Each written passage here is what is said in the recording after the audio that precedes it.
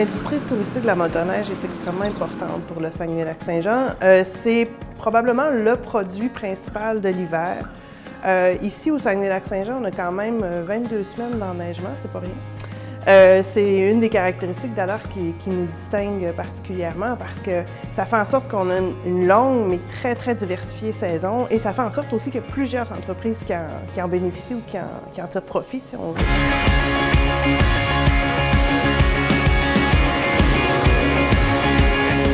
Pense que c'est important pour la région d'avoir des éco-sentiers parce que nous avons euh, des retombées économiques importantes de l'activité motoneige. Les retombées, d'après les études faites en 2017-2018, sont de 112 millions pour la région.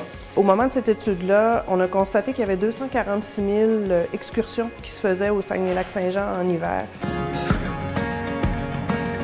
Il y avait une belle opportunité à être éco-sentier c'est un beau territoire qui est, vierge. Il y a beaucoup de faune ici. Euh, on a beaucoup de, de, cervidés, des, orignaux, des chevreuils. Euh. Il y a des territoires, en fait, qui sont riches, qui sont nécessaires à notre biodiversité au Saguenay-Lac-Saint-Jean. Pendant l'hiver, il faut continuer à les préserver, continuer à faire en sorte que l'activité touristique ne vienne pas euh, comment dire, altérer ces territoires spécifiques-là.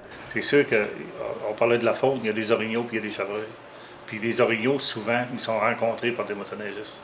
À certaines occasions, les motoneigistes courent après. Mmh. ça... nuit à leur tranquillité, tu veux, à leur, à leur, à leur gouvernement. Souvent, ces orignaux-là, ils épuisent puis ils meurent.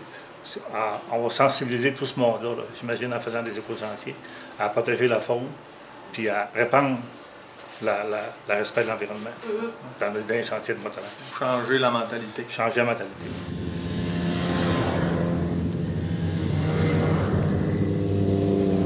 D'avoir une vision puis d'avoir une approche durable pour le développement de l'industrie touristique et notamment de la motoneige est essentiel. Donc d'ajouter une, certification éco-sentier euh, pour l'ensemble des développements qui vont se faire jusqu'à maintenant ou les améliorations du, réseau de sentiers qui vont se faire est, aussi essentiel.